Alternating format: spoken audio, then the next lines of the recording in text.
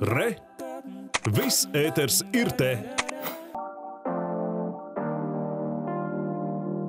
Latvijas biomedicīnas pētījuma un studiju centrā tiek strādāts pie dažādu jaunu vakcīnu izveides. Viena no metodēm balstās uz vīrusveidīgajām daļiņām. Izmantojot šo metodu, Latvijas zinātnieki cenšas radīt universālu gripas vakcīnu, kas būtu derīga ilgāku laiku un to nebūtu jāmaina katru gadu, kā tas ir šobrīd ar tirgū pieejamām. Šis te ir vīruss, ja, un tā vata, kas viņiem iekšā, tas ir vīrusa genoms, tā kā ģenētiskā informācija. Ja. Nu, un tad uz viņiem uz virsmas šur tur ir kaut kādi tie proteīni, pret kuriem mēs gribētu veidot imunu atbildi. Ja. Mēs izmantojam nevis šo te vīrusu pašu vakcīnas konstruēšanai, bet mēs izmantojam tā saucamās vīrusveidīgās daļiņas no pavisam citu vīrusu, kas ir pilnībā nekaitīgs, nekādā veidā nav bīstams organismā. Viņš arī nesatur to genomu, redziet, viņš ir tukšs, tur tā vata nav iekšā.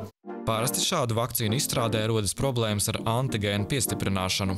Mums vajag pārliecināties par to, ka šis te, uh, antigēns ir pielikts pie šīs vīrusa veidīgās daļiņas pareizā veidā. Ja? Ka viņam ir pareiza struktūra, ka viņš nav piemēram kaut kā šādi pielicies klāt vai šādi.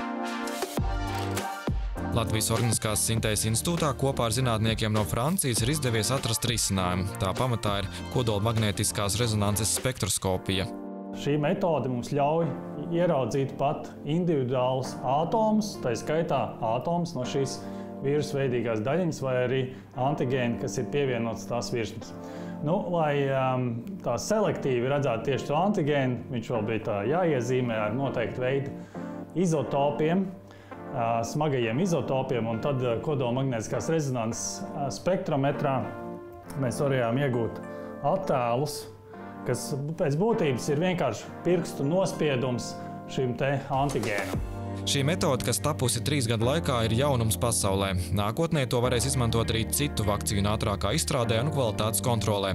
Tāpat šo metodi var izmantot biofarmaceitisko preparātu radīšanā, kuras izmanto piemēram vēža ārstēšanai. Iegūms, es domāju, būs ļoti liels nu, tādā pārskatāmā nākotnē.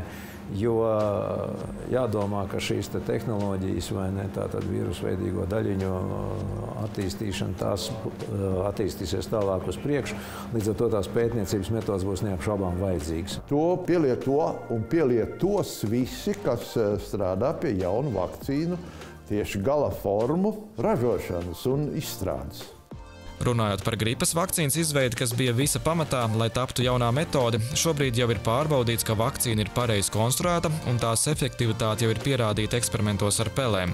Iespējams, tuvāko gadu laikā varam gaidīt jaunu, daudz efektīvāku gripas vakcīnu, kuras pamatā būs Latvijā veikti pētījumi.